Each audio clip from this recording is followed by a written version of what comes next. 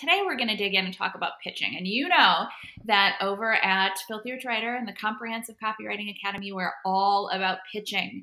Pitching that is very value based, so it is welcome, um, so that the people that are receiving those pitches are actually glad to get them, which is very different than a lot of the way a lot of the ways that people pitch, which is what we're going to talk about today. We're going to talk about how not to pitch. There are some broad themes mm-hmm. that are absolute no goes, absolute uh, red flags, bad ideas, whatever else you want to call them. Mm-hmm. Um, Kate, what's uh, what's one of the first ones that people should Ooh. avoid? The biggest one I think is um, not being specific in your pitch and having a very templated response to everyone you're pitching. So, you know, you want to get the volume out. So you just kind of recycle the same pitch over and over and over again versus looking at the company you're pitching and showing that you took the time to research them and, and, have a specific idea to that organization that they could implement um, and and you know that's valuable um, mm-hmm. yeah absolutely it's if you haven't taken the time to at least learn something about my company, then why on earth should I take the time to get in touch with you to answer this pitch? Enthusiasm, like that general or general um, genuine is the word I'm looking for. Uh, that genuine enthusiasm and positivity is really important, and we definitely want you to put that in your pitches. But at the same time, you need to use specific examples that you will garner through research of what you like about this company, not just like, hey, I really like your company. Like, all right, super. I really like cereal. I don't know why that was my example, but you know what I mean. Because cereal's great. cereal's great. Um, now I want cereal. Uh, what is it about my company, our company, that you like? What what life we... is very different than fruity pebbles. It's we're gonna go down a rabbit hole here. Um, but what is it? What what have we posted that you've liked? Did you see something on Instagram that you really agreed with? Did you read a blog post that you really liked? Have you seen a video? Have you listened to a, a podcast episode? What is it? That you are enthusiastic about. And that's mm-hmm. when you guys are putting together your pitches, that's where you want to start with that enthusiasm and that positivity but also tied to something real that shows that you actually do follow this company or research this company. Because mm-hmm. it's really easy to say, yeah, I like your company and not know anything about it. Absolutely. And I want to go back to the subject line because the asterisk, if you if you type it out on your computer like 10 asterisks and then guest blog post opportunity in all caps and another 10 asterisks, you'll kind of visually see that that looks it looks like a spam subject line, quite frankly. Mm-hmm. Um, you know, if you go to your spam fil- folder, that's a good place to get ideas for kind of what to avoid. Um, you know, are there common trends in your spam folder that show things that clearly are getting picked up by the spam filter because they're mass emails or generic or have 10 asterisks in the subject line that make it look a little yeah i don't want to open spam but mm that's not what people want in subject lines. People want a very clear subject line that says who you are and what you have to offer. And for it to feel human you know this feels a little bit like um you know there's the, is this a person writing this?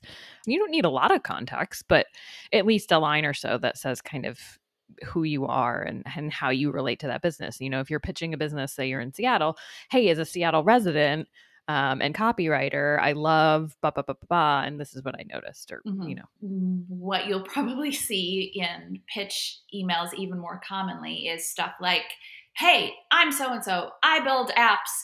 Get in touch with me now and you see it again and again and it's literally just mass emailed out they are throwing stuff at a wall yeah yeah mm-hmm. that's the, the biggest thing is though what what is the benefit am i you know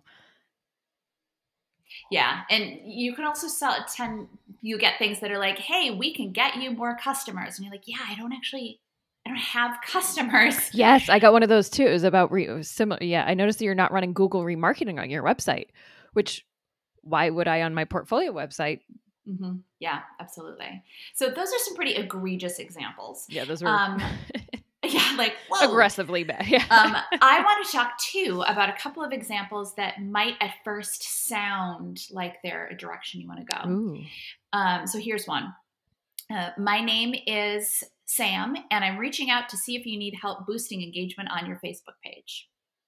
Or, Tom, I saw your blog hasn't been updated in a while. Are you looking for a writer?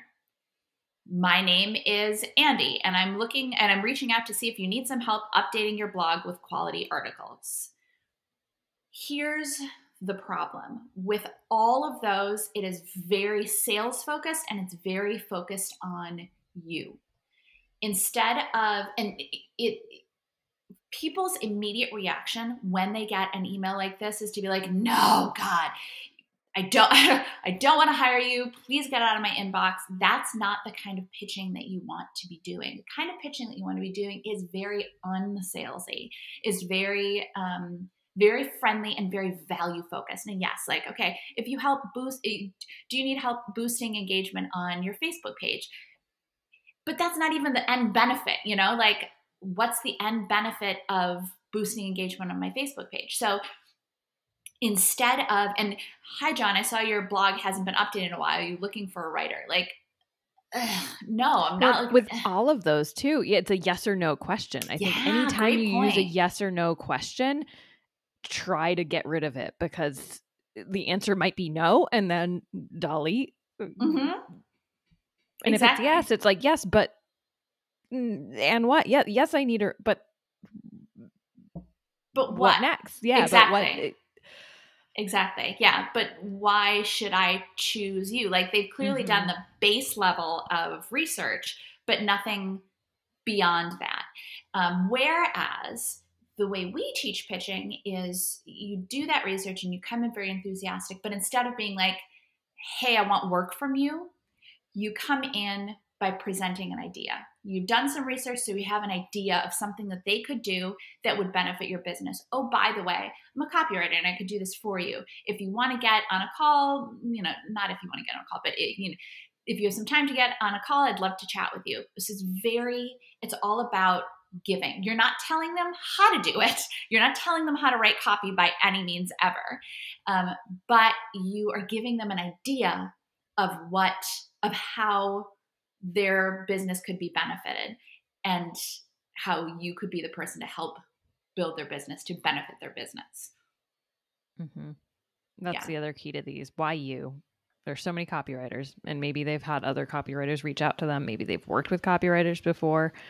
Um, so making sure you get in some sort of, you know, mini USP potentially of Mhm. why you. hmm exactly. But when you make a pitch email, like in those examples, when you make a pitch email about yourself, it's never going to end well. hmm When you make a pitch email about the company, focused on the company, focused on what you like about the company, focused on an idea you had, hey, I really like your company. Here's an idea. I really think this idea could help your company in XYZ way. It's so much people who get emails like that, and I think you can feel there's a difference to that. The people who get the, the pitches that our students write are so much more open to them and and a lot of times grateful to get the pitch emails because it's not about what can I get from you? It's about how can I help you? What value can I bring to the table? And it's not like I have an idea, but you have to get in touch with me to find out what the idea is. hmm It's, hey, I had an idea and I love your son company so much. I just wanted to share the idea. hmm Oh, and by the way, if you like the idea, I can help you do it because I'm a copywriter. But it's it's so giving oriented and so value oriented that it it's it's goodwill in a way. It's, You're identifying a need they might not have even have known that they had Mhm, for many of them. Mhm, Like, exactly. oh, you just pointed out this gap or hole in my my marketing. Oh my gosh, yes. Like, thank you. Mm-hmm. Mm-hmm. And the thing is too is that when you're writing in that way that is so giving oriented and so so oriented in a way to benefit their business, even if they don't want to move forward with that idea or maybe even if they don't need a copywriter at that moment they're so much more likely to hang on to your email you know put it into a folder or maybe forward it to someone they know who does need a copywriter than the other types of pitches. The other types of pitches one of the reasons why people send those types of pitches in in mass en masse uh, is because so few people actually respond to them but when you write out a really quality pitch, you get a higher response rate because, first of all, it's a, it's a, a genuine, uh, helpful email. So you get a, a, higher response rate and you get a much more positive response rate. Where with the other ones, you're probably going to get a lot of like, please don't contact me again, mm-hmm. or that kind of thing. Take me off your list. Um, with our kinds of pitch emails, it's it's just you're making a genuine connection and you are you are showing yourself as a uh, a trusted expert and a potential partner for them, a potential resource for them. Like, hey, I have a lot to offer. Here I am. Also, here's an idea. Yeah, absolutely. I think remembering that you're a human talking to another human is really key because I think some of us sit down we're like, we have to go into business mode and write with certain words or else they're going to think I'm a fraud. And it's really just write how you would want to receive an email from a friend or you know that you would be excited to open because it's it's not spam because it is it's like finding mail in your mailbox because that's so rare now where you're like oh someone sent me a real card and it's from a real person. It's similar with with email especially now because there is so much mass email that it's like oh this is this is a, a delight because it's not it's it's a real human name in the the from line and the subject line feels very real and not um, just part of a marketing campaign like it's that gem of an email in your inbox that you're going for like oh yeah yeah i love that point. I know too that sometimes students are a little bit or I should say copywriters are a little bit concerned that if they email people they don't know it's going to be spam.